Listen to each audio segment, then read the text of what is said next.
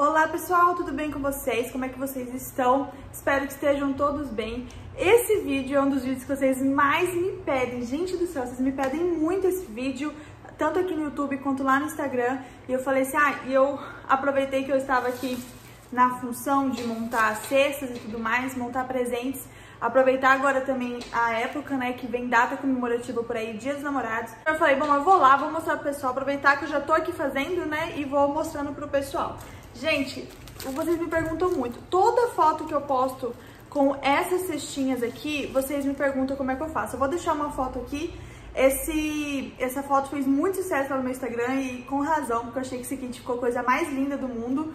E são algumas opções de presentes que eu sempre tenho que ter aqui na loja. Então eu sempre tô montando essas cestinhas. Elas são incrivelmente baratas porque a gente usa papelão das caixas que vem das marcas e dá um efeito muito bonito no presente, né? Chama muita atenção. É, é, o meu diferencial hoje aqui na minha loja e aqui na região são presentes. As pessoas vêm na minha loja buscando presentes. Então eu sempre tenho que ter alguma opção montada já pra é, realizar a venda ali pro meu cliente no momento em que ele deseja presentear alguém.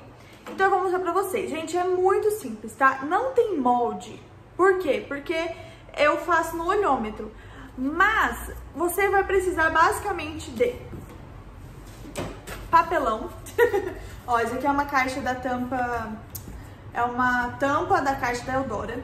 Geralmente eu faço as bases com a caixa de papelão em si e as laterais com a tampa. Porque a tampa ela é mais fina e ela é mais maleável.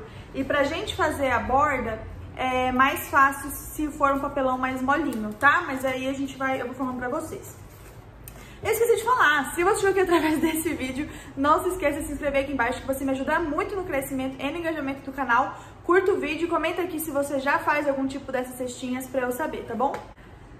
Então tá, então gente, olha só, você só vai precisar disso, tesoura e fita crepe, tá? Eu uso fita crepe porque eu acho mais prático. Eu não tenho muita habilidade para usar cola quente, mas se você é, tem habilidade para fazer com cola quente, se você tem a pistolinha aí, melhor ainda. Eu não tenho habilidade suficiente para trabalhar com cola quente, tá? Então eu acho a, a, o crepe mais prático, mais rápido e já monto assim. Bom, pessoal, olha só. Camila, qual que é o molde? Nanã? Não tem molde, porque eu faço essa cestinha tem muito tempo já e já vai meio que no olhômetro, sabe? E eu tenho o molde das primeiras que eu fiz e eu acabo utilizando. Mas eu sempre uso em dois modelos, dois tamanhos. Um tamanho pequenininho, ó, essa é uma cestinha pequenininha e essa daqui é uma cestinha maior. Deixa eu pegar aqui, ó. Uma cestinha pequena e uma cestinha maior, tá vendo? Esses são os dois tamanhos que eu sempre monto, eu sempre tenho montado delas. Tamanho, essa daqui ela tem aqui na base é, 10 por uns 8 mais ou menos. E essa maior aqui tem uns 12, 13 por 10. Eu tô sem régua aqui, então não dá pra medir. Mas é basicamente isso. E aí é só você medir, pega uma régua, faz um ponto daqui até aqui no papelão e circula e corta. Não precisa ficar perfeito, ó, não precisa ficar uma coisa muito perfeita, porque tem muitos processos ainda por cima. Você ainda vai colocar a lateral e ainda depois você vai embrulhar com plástico de seda. Então, assim, não precisa ser algo muito perfeito, sabe? Não precisa de molde nem nada, é só você recortar no papelão. Ó, esse daqui ele é um papelão, ó, eu tô forçando e ele não tá dobrando, tá? Por quê? Porque é a lateral da caixa que ela é mais resistente mesmo. E essa daqui é a tampa, ó. Eu vou forçar e ó como que ela já curva aqui assim, tá vendo? Então, pra tampa, pras laterais, o ideal é que seja a tampa por ela ser mais maleável. Eu falei pra vocês que é muito, muito, muito, muito simples mesmo. Bom, aí, o que, que você vai fazer? Você vai pegar aqui o seu molde. A lateral, geralmente eu faço a largura de uma régua. Eu pego uma régua e corto ela na, na, na largura de uma régua pra ficar mais fácil, né? Porque você só pega a régua ali, risca no papelão e corta. Então é mais ou menos isso. Também não precisa ficar perfeito, a minha tá toda torta, não tem problema porque a gente vai é, fazer com a lateral ainda. Mas aí você pode, gente, usar a largura que você quiser. Você pode pegar uma caixinha e usar de molde para largura e depois, né, só ir completando aqui Enfim, você pode fazer... Ontem deve ter crepe preso aqui. você pode fazer da forma como você achar melhor, tá bom? Aí, pois bem, gente, daí é a coisa mais simples do mundo, ó. Você pega aqui a, a base, eu pego o papelão e eu faço assim, ó. Eu vou apertando aqui com o dedão pra ela ficar mais fácil de trabalhar. Ó, ela já fica meio encurvadinha, tá vendo? Pra facilitar na hora que eu for montar a lateral da, da cestinha. E aí agora, ó, eu venho aqui, posiciono a lateral junto com a base e eu vou pregando com o papel, o papel de seda não, a fita crepe. E aí, como a, a lateral ela já tá meio encurvada, é só você ir seguindo a base, ó.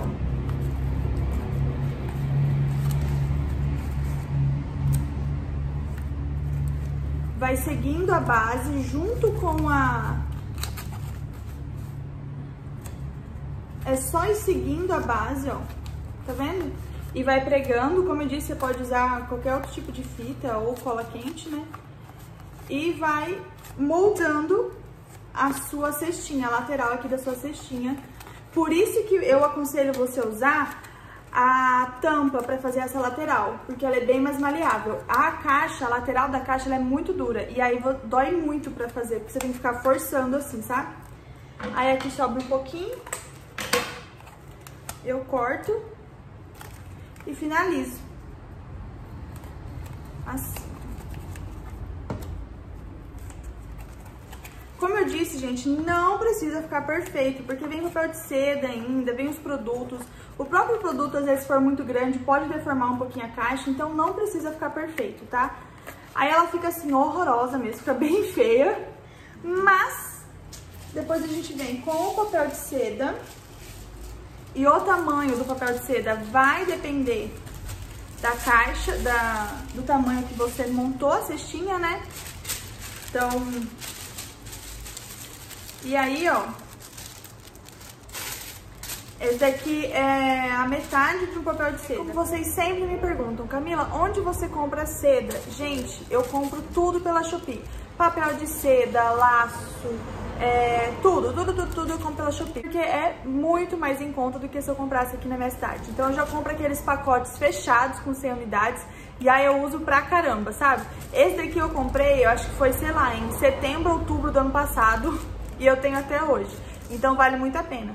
É, eu vou deixar o link da loja que eu comprei aqui embaixo, tá? Da última vez que eu olhei, tava esgotado. Mas às vezes eles já repuseram algumas cores, então compensa lá dar uma olhada. Não se esqueça, gente, de ativar o Cuponomia, tá? Sempre quando você for comprar na Shopee ou qualquer outra plataforma, ative o Cuponomia. Se você não conhece o Cuponomia, ele é uma plataforma de cashback online, onde ele devolve parte do dinheiro que você usou para comprar em cashback. É dinheiro de volta mesmo na sua conta, tá? Cashback é dinheiro de volta na sua conta. Utilizando o link que eu deixo aqui na descrição do vídeo, você já ganha 5 reais, então é maravilhoso, é o melhor dos mundos, porque você compra na Shopee com desconto, desconto no frete e ainda consegue utilizar o Cuponomia para garantir mais descontos na sua compra, tá bom? Posiciono a caixinha no meio e eu vou encapando aqui, ó, a cestinha. De novo, não precisa ficar perfeito, eu gosto desse efeito mais amassadinho, eu acho que fica bonito, mas se você for uma pessoa mais habilidosa que eu e quiser fazer retinho, enfim, do jeito que você quiser. Aí fica assim, o que eu gosto de fazer geralmente eu pego um pedaço, um pedaço menor, e eu coloco aqui dentro assim, ó.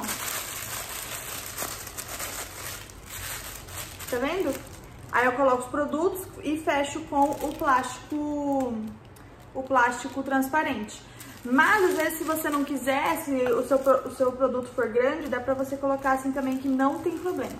Geralmente eu uso essa cestinha para montar kits em pé. Então aqui eu coloco um hidratante, uma carçabonete e amarro. Mas você pode usar deitada também. Coloca um creme de mão com sabonete e fecha com laço aqui. Também não tem problema. Da forma como você achar melhor.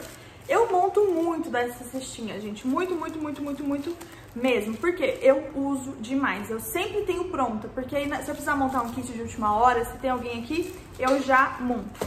Ontem eu montei... Eu vou mostrar pra vocês, olha só. Olha o tanto que eu já montei ontem. Geralmente, eu... Ó, aqui atrás tem mais. Então, assim, geralmente eu separo um dia e já faço tudo pra já deixar pronto e fica muito mais prático no dia a dia, né? Ontem eu montei da pequena, desse tamanhozinho menor aqui. E agora eu tô montando da maior. Ó, eu já cortei tudo. Aqui tem 20, eu acho. 1, 2, 3, 4, 5, 6, 7, 8, 9, 10, 11, 12, 13, 14, 15, 16. 16. E já cortei as tirinhas também, ó. Agora é só montar tudo e aí eu deixo tudo dentro de uma caixa. É, e aí eu vou montando conforme eu vou tendo produto, vou tendo pedido de alguns presentes e tudo mais. Bom, gente, esse foi o vídeo, um vídeo muito curtinho, realmente só queria mostrar pra vocês mesmo como que eu faço essas cestinhas, porque vocês me perguntam demais e eu espero muito que vocês gostem, tá bom? Um beijo, fiquem com Deus e tchau!